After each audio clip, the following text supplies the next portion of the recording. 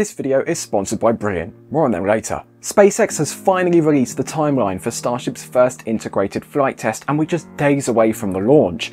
We're going to explain the timeline, tie it with events that you'll be able to see and along the way you might find some interesting stuff very similar to SpaceX's workhorse rocket, the Falcon 9.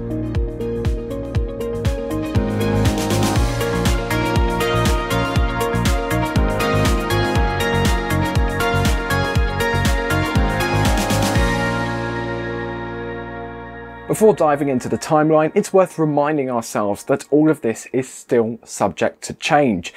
Times can move a few minutes or seconds left or right, so take these times as more of a guidance than as set in stone. Another thing to point out is we actually did a video about this almost two months ago, going totally blind and just looking at vents and other similar indicators to guess all of this, and to be honest, we got quite close. We were close to guessing a lot of the times for these events, so props to Adrian for getting so close. Starship's countdown sequence will begin even before what the timeline says. We'll see the village evacuated, road closed, and tank farm coming to life several hours before the official timeline begins. So, once the hazard area is cleared of people and the tank farm has spooled up, it'll be time for the launch director to poll operators on their readiness to proceed with the propellant load. Once the operators confirm the readiness of all systems, a go no no-go poll will be called, and if in favour of go, they'll go ahead with the propellant load sequence. This call should happen at the T-2 hour mark and will likely coincide with the start of the orbital launch mount vent that we've seen during prior countdowns. This OLM vent is related to the chill down and cooling of the liquid oxygen lines on the OLM with liquid nitrogen. These pipes need to be chilled down so that when oxygen flows through them, it doesn't instantly boil off and create issues with oxygen bubbles getting stuck in valves or something like that. The next step will be the loading of propellant on board the Super Heavy booster, which is set to begin at T-1 hour and 39 minutes. At this time in the countdown, we'll see that the OLM vent will stop and liquid oxygen and liquid methane will start flowing into the booster. This is similar to Falcon 9 countdowns. We see the T-20 minute vent on the strongback prior to liquid oxygen load on the second stage. When the vent stops, the liquid oxygen load begins. A few minutes later, we'll likely start seeing frost rising on both tanks of the booster. This will be very useful to know the level of each propellant on board the vehicle so you can check literally by eye how much each tank is loaded. This load sequence will likely last up until a few minutes before liftoff and lines up with what we've seen in past propellant load tests where it's taken about an hour and a half to fully load the booster. As the time to load propellants on the ship gets close, the ground systems will purge and chill down the lines on the tower that go up to the ship, similar to what we'll see on the OLM. However, unlike the booster, on the ship we'll see the load of propellants staggered.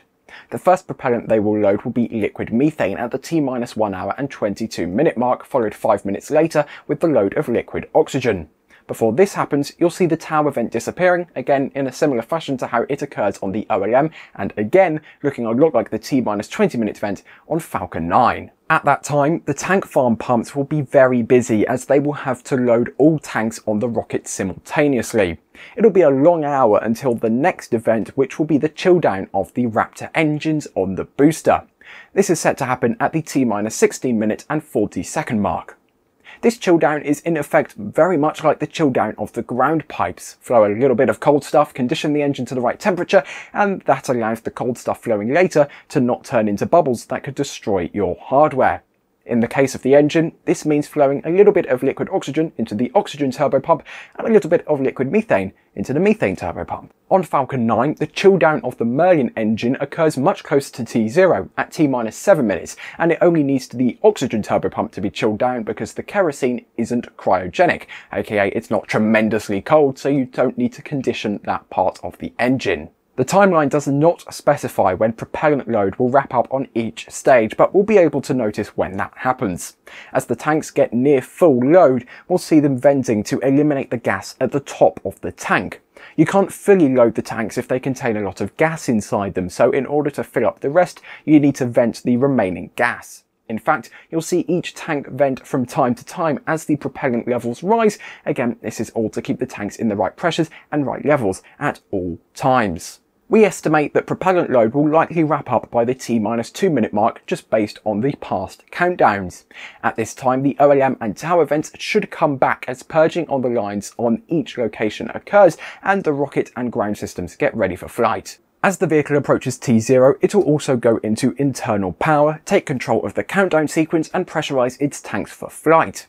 We know when this happens for the Falcon 9 at the T-1 minute mark, and in that rocket's case, this is called the startup sequence. However, SpaceX did not provide the times for when this happens on Starship, so we'll just have to figure that out on launch day. The next event that we know will happen from SpaceX's timeline is the vent down sequence of fluid interfaces. This should occur at the T-40 second mark, and we actually saw this on SpaceX's livestream of the 33 cum 31 engine static fire test not that long ago. The stream started with the clock held at that part of the count, and when the test countdown resumed, they resumed from this point all the way to engine ignition. This could in fact be a point of the countdown where SpaceX may decide to hold the count for a few minutes as they work reviewing the data of the rocket ahead of launch. At some point between this mark and the engine ignition, we should hear the launch director saying the magic words LD, go for launch. Eight seconds before liftoff, Super Heavy will start the engine start-up sequence. This will likely be staggered and the rocket will be held down for a few seconds to check the engine's health before releasing the clamps and sending the world's most powerful rocket on its way to space. We'll get into what'll happen at T-0 in a second, but first, over to Sawyer. Rockets aren't the only heavy lifters we're talking about. One example Brilliant, the sponsor of today's video. Brilliant.org is the best way to learn about math and science topics, and it's all interactive. If you're interested in a career in aerospace or just want to understand the world around you a little better, Brilliant has you covered. Brilliant has thousands of lessons, including one related to this video. Starship's ultimate goal is to get to Mars, but what do we do once we get there? Brilliant has a fantastic lesson on what it takes to terraform Mars, or Basically, make it that humans can live there once Starship is up and ready to go. To try everything Brilliant has to offer free for a full 30 days, visit brilliant.org slash NASA spaceflight or click the link in the description below. The first 200 of you to sign up for Brilliant will get their annual premium subscription 20% off. Once T0 arrives, excitement guaranteed. Like, really, that's what SpaceX said on their timeline. This time will be the one everyone has waited for. It's the time Starship will finally lift off in its fully stacked configuration. From this point onwards, caution is warranted. All of the times and events in this timeline are under nominal conditions. Even when things happen nominally, some times might change as the rocket itself adapts to target the intended trajectory. Once Starship clears the launch tower, it will start its pitch, yaw and roll sequence to align itself with the targeted heading. Starship should be heading towards the east and reach max Q at about 55 seconds into flight.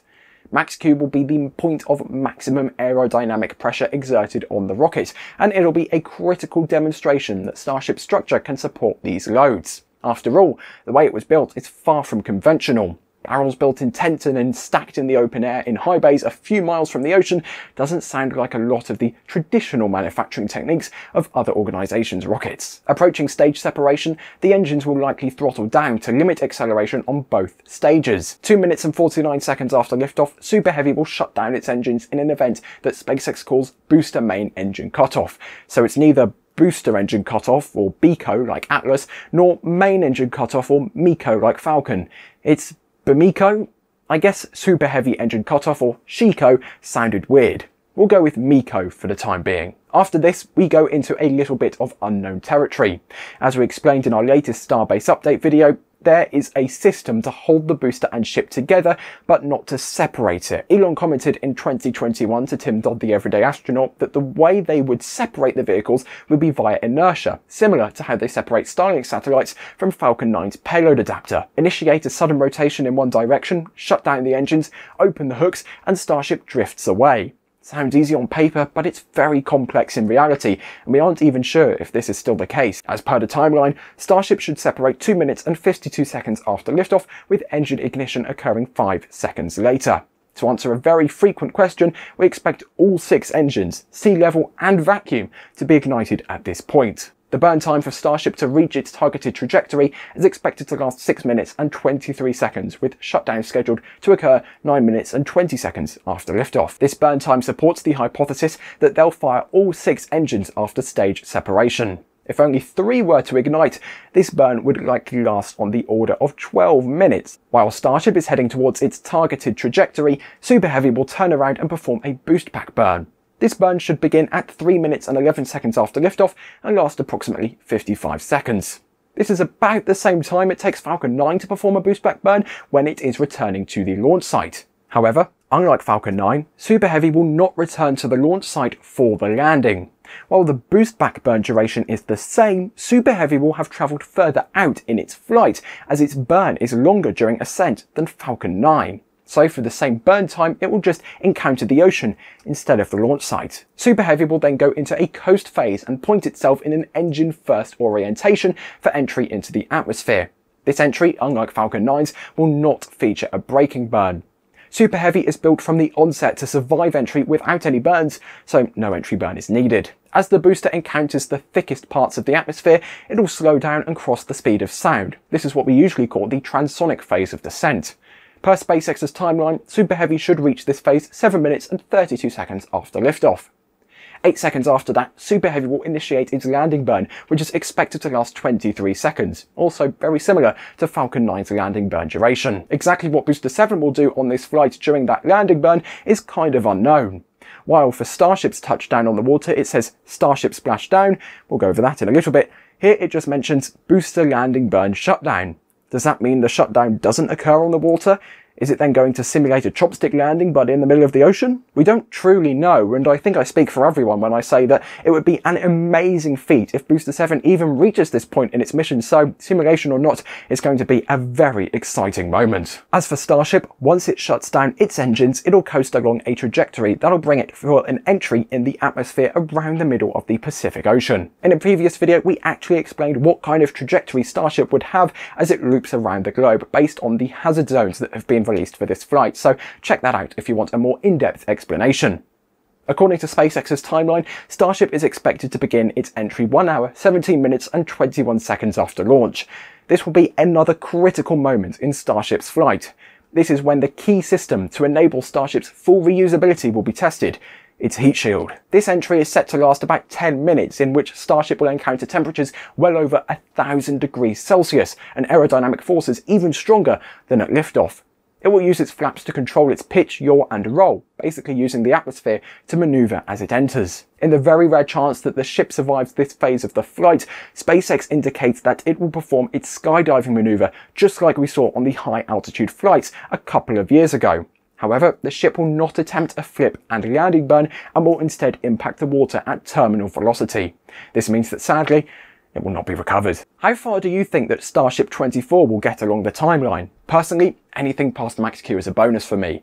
Let us know your thoughts in the comments. And of course, NSF will be live streaming the whole thing all the way from road closure to launch and hopefully splashdown.